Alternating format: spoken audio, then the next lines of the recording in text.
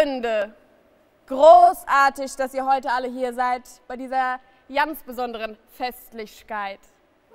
Wir haben gerade die fünfte Jahreszeit, für uns alle sicher mit die schönste Angelegenheit. Alle schunkeln, feiern und singen zusammen. Da stehen Lust und Laune förmlich in Flammen. Ob ein Lappen, ein Teufel, ein Clown oder hier vorne eine nette Katze in hellbraun. Der Karneval ist volksnah, verbindend und integrativ. Da würdet ihr alle wohl sagen, ja, definitiv. Der Karneval am Rhein. Fühlt sich da wirklich jeder daheim? Zumindest all die netten alten weißen Herren. Man hört sich häufig kilometerweit plärren. Yvonne, du bist aber auch ein lecker Mädchen. Da platzt an der Butz doch gleich mein Nätchen. Also mit Frauen an der Spitze, das ist ja natürlich so ein Thema, ne? Mit alten weißen Männern, das ist auch einfach bequemer. Versteht uns nicht falsch, Wir lieben den Kölner Karneval.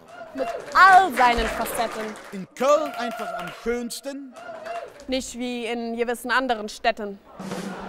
Aber die Verantwortung, also gesellschaftlich und sozial, Die ist ja, äh, soll man sagen,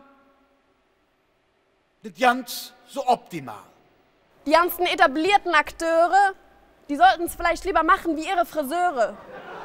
Sich den Kopf mal waschen lassen Und die Spitzen mal anpassen. Und in der Prinzengarde sitzt sogar noch der ein oder andere AfDler. Und jetzt findet mal den Fehler. Der Tritschler zum Beispiel. Ein ganz toller Mann. Der hat nicht nur an Karneval sein Schweinchenkostüm an.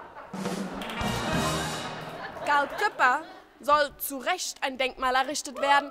Nur verkleiden sich hier mitunter auch die Falschen als rechtmäßige Erben.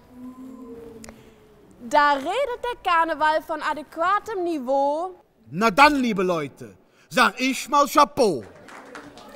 Bisschen links, bisschen rechts. Bisschen links, bisschen rechts. Ja, aber wir wollen doch den Spaß nicht verlieren. Ja, lieber Heinz, du scheinst es noch immer nicht zu kapieren. Wir alle wollen Spaß, wir alle wollen schunkeln. Aber wir müssen reden mit Heinz übers Gesicht verdunkeln. Liebe Karin, Dinge kritisch zu hinterfragen ist oft wertvoll. Ja, aber mein Indianerkostüm steht mir doch so toll. Darf ich das Kostüm denn nicht mehr tragen? Darf ich das denn nicht mehr sagen? Ja, also, wir haben 100 Leute gefragt.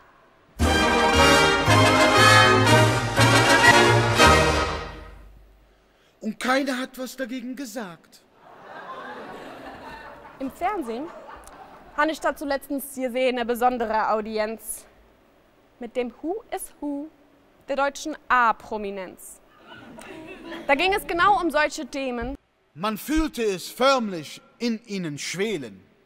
Ich nenne hier heute Abend jetzt mal keine Namen. Aber diese Art Mensch sollte man nicht sprechen lassen in so einem Rahmen.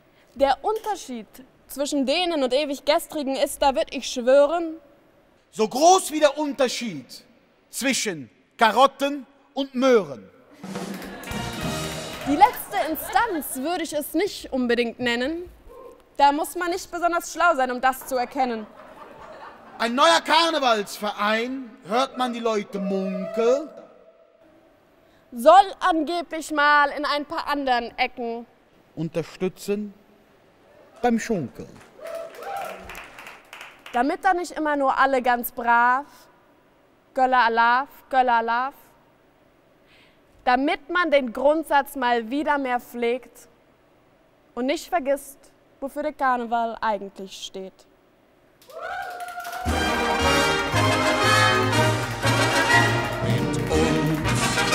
mit keiner. Dar Molly, Molly, Molly, Molly me. Mit uns, nimed keela.